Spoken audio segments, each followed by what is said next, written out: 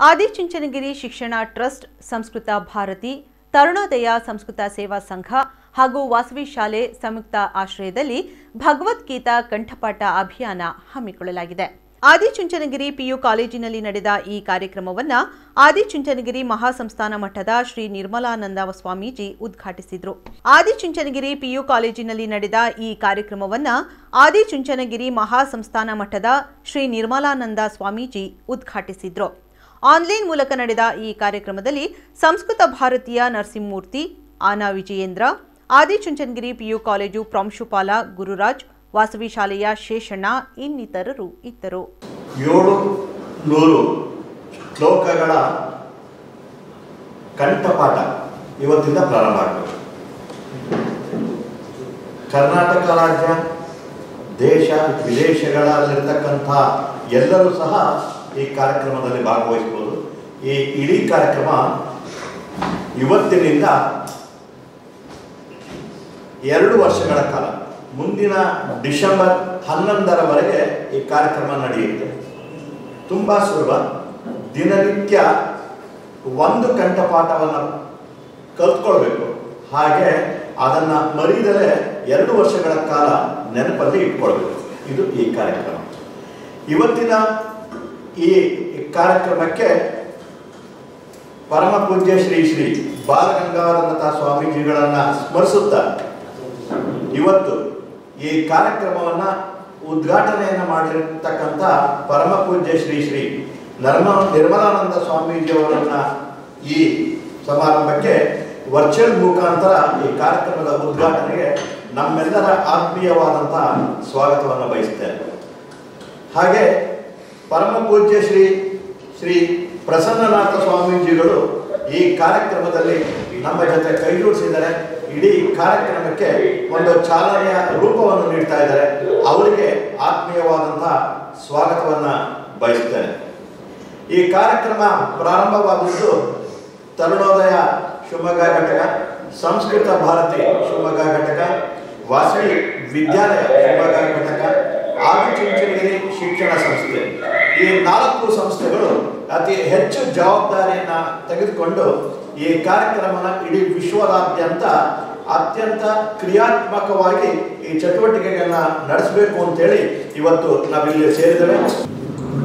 ವಸುದೇವಸುತಂ ದೇವಂ ಕಂಸಚಾಣವರಮರ್ದನಂ ದೇವಕಿ ಪರಮಾನಂದಂ, ಕೃಷ್ಣಂ ಒಂದೇ ಜಗದ್ಗುರು, ಕೃಷ್ಣಂ ಒಂದೇ ಜಗದ್ಗುರು.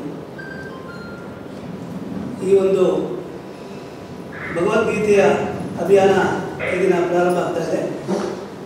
ಇದರ ಮೂಲ ಉದ್ದೇಶ ಏನು ಅಂದರೆ ಭಗವದ್ಗೀತೆ ಬಗ್ಗೆ ಅನೇಕ ಪ್ರವಚನಗಳಿದೆ, ಅನೇಕ ರೀತಿಯಾದ ಕಾರ್ಯಕ್ರಮಗಳು ನಡೀತಾನೆ ಇರುತ್ತೆ. ಆದರೆ ಅಲ್ಲಲ್ಲಿ ಭಗವದ್ಗೀತೆ ಅಧ್ಯಾಯಗಳನ್ನು ಸ್ಪರ್ಧೆ ಇರ್ಬೋದು. ಅಥವಾ ಭಗವದ್ಗೀತೆಯ ಕೆಲವು ಅಧ್ಯಾಯಗಳನ್ನು ಕಂಠಪಾಠ ಮಾಡ್ತಕ್ಕಂಥದ್ದಿರ್ಬೋದು. ಯಾವುದೋ ಒಂದು ಅಧ್ಯಾಯದ ಬಗ್ಗೆ ಪ್ರವಚನ ಇರ್ಬೋದು ಇದನ್ನು ನಾವು ನೋಡ್ತಾ ಇದ್ದೀವಿ. ಅದರ ಪ್ರತಿಯೊಂದು ಶ್ಲೋಕವನ್ನು ಕಂಠಪಾಠ ಮಾಡ್ತಕ್ಕಂಥ ಒಂದು ಅಭಿಯಾನವನ್ನು ಈ ದಿನ ನಾವು ಪ್ರಾರಂಭ ಮಾಡ್ತಾ ಇದ್ದೇವೆ. ಪ್ರತಿದಿನ ಭಗವದ್ಗೀತೆಯ ಒಂದು ಶ್ಲೋಕವನ್ನು ನಾವು ಕಂಠಪಾಠ ಮಾಡಬೇಕು ಅಂತ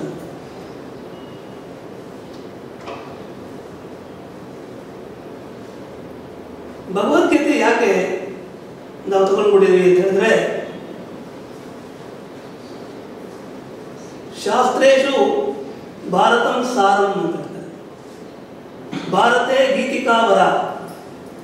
ವಿಷ್ಣು ಸಹಸ್ರನಾಮಾನಿ ಜ್ಞೇಯಂ ಪಾಠ್ಯಂ ತದ್ವಯಂ ಅಂತ ಇಡೀ ಶಾಸ್ತ್ರದ ಸಾರ ಮಹಾಭಾರತದಲ್ಲಿ ಅಂತ ಹೇಳ್ತಾರೆ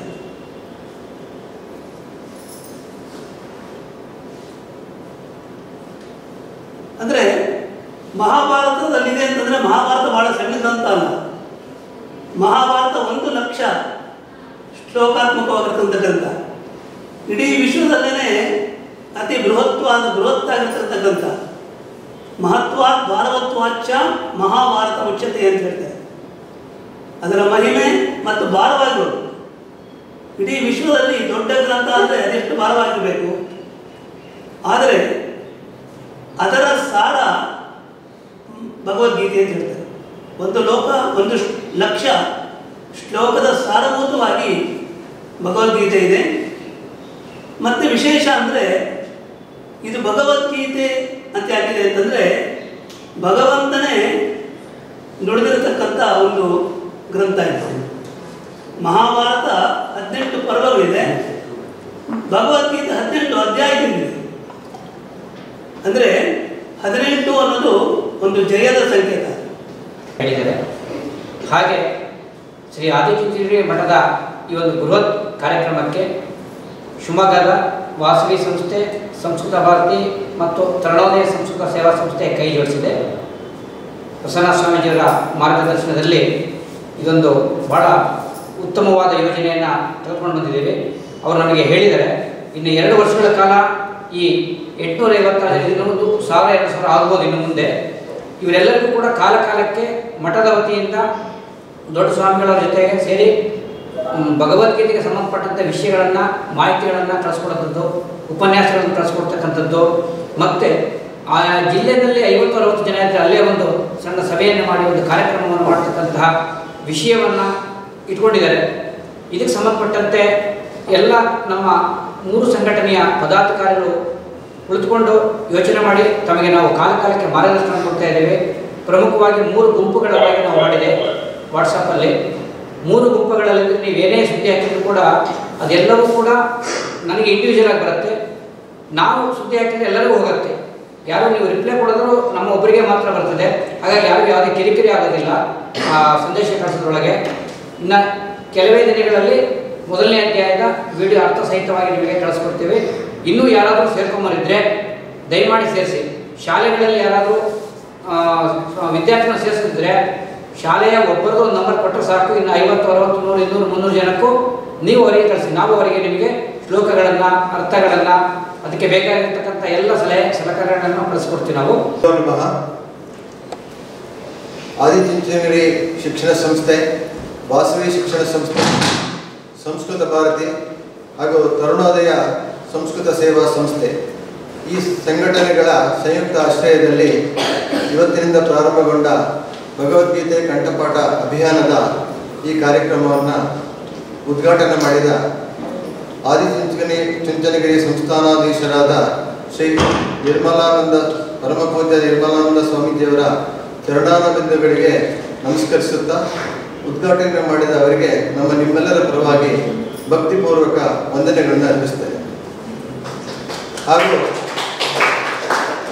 ಈ ಒಂದು ಕಾರ್ಯಕ್ರಮದಲ್ಲಿ ನಮಗೆ ಮಾರ್ಗದರ್ಶನ ಮಾಡಿ ನಮ್ಮ ಎಲ್ಲ ಕಾರ್ಯಕ್ರಮಗಳಿಗೂ ಕೂಡ ಅತ್ಯಂತ ಹೆಚ್ಚಿನ ರೀತಿಯ ಸಹಕಾರವನ್ನು ನೀಡ್ತಾ ಇರುವಂಥ ಆದಿತ್ಯಂಚನಗಿರಿ ಸಂಸ್ಥಾನದ ಇನ್ನೊಬ್ಬ ಪ್ರಸನ್ನ ಸ್ವಾಮಿ ಸ್ವಾಮೀಜಿಯವರಾದ ಶ್ರೀ ಪ್ರಸನ್ನನಾಥ ಸ್ವಾಮೀಜಿಯವರಿಗೂ ಕೂಡ ಭಕ್ತಿಪೂರ್ವಕ ವಂದನೆಗಳನ್ನು ಅರ್ಪಿಸ್ತೇನೆ ಹಾಗೂ ಈ ಕಾರ್ಯಕ್ರಮದಲ್ಲಿ ಆಗಮಿಸಿದ ಕಾರ್ಯಕ್ರಮ ನಡೆಸಿಕೊಟ್ಟಂತಹ ಆದಿಚುಂಚನಗಿರಿ ಶಿವಮೊಗ್ಗ ಶಿಕ್ಷಣ ಸಂಸ್ಥೆಯ ಪ್ರಾಂಶುಪಾಲರಾದ ಗುರುರಾಜ್ ಅವರಿಗೂ ಕೂಡ ನಮ್ಮ ನಿಮ್ಮೆಲ್ಲರ ಪರವಾಗಿ ಹೃತ್ಪೂರ್ವಕ ಧನ್ಯವಾದಗಳನ್ನು ಅರ್ಪಿಸುತ್ತೇನೆ. ಹಾಗೆ ಈ ಕಾರ್ಯಕ್ರಮದಲ್ಲಿ ಭಾಗವಹಿಸಿ ನಮಗೆ ಸಹಕಾರ ನೀಡಿದ ವಾಸವಿ ಸಂಸ್ಥೆಯ ಮುಖ್ಯಸ್ಥರಾದ ಶ್ರೀ ಶೇಷಾಚಲ ಅವರಿಗೂ ಕೂಡ ನಮ್ಮ ನಿಮ್ಮೆಲ್ಲರ ಪರವಾಗಿ ಹೃತ್ಪೂರ್ವಕ ಧನ್ಯವಾದಗಳನ್ನು ಅರ್ಪಿಸ್ತೇನೆ. ಹಾಗೆ ಕರುಣೋದಯ ಸಂಸ್ಕೃತ ಸೇವಾ ಸಂಸ್ಥೆಯ ಅಧ್ಯಕ್ಷರಾದ ನರಸಿಂಹಮೂರ್ತಿ ಅವರಿಗೂ ಕೂಡ ನಮ್ಮ ನಿಮ್ಮೆಲ್ಲರ ಪರವಾಗಿ ಹೃತ್ಪೂರ್ವಕ ಧನ್ಯವಾದಗಳನ್ನು ಅರ್ಪಿಸ್ತೇನೆ. ಸಂಸ್ಕೃತ ತರುಣೋದಯ ಸಂಸ್ಕೃತ ಸಂಸ್ಥೆಯ ಪ್ರಧಾನ ಕಾರ್ಯದರ್ಶಿಯಾದ ಅನ ವಿಜೇಂದ್ರ ಅವರಿಗೂ ಕೂಡ ನಮ್ಮ ನಿಮ್ಮೆಲ್ಲರ ಪರವಾಗಿ ಹೃತ್ಪೂರ್ವಕ ಧನ್ಯವಾದಗಳನ್ನು ಅರ್ಪಿಸ್ತೇನೆ.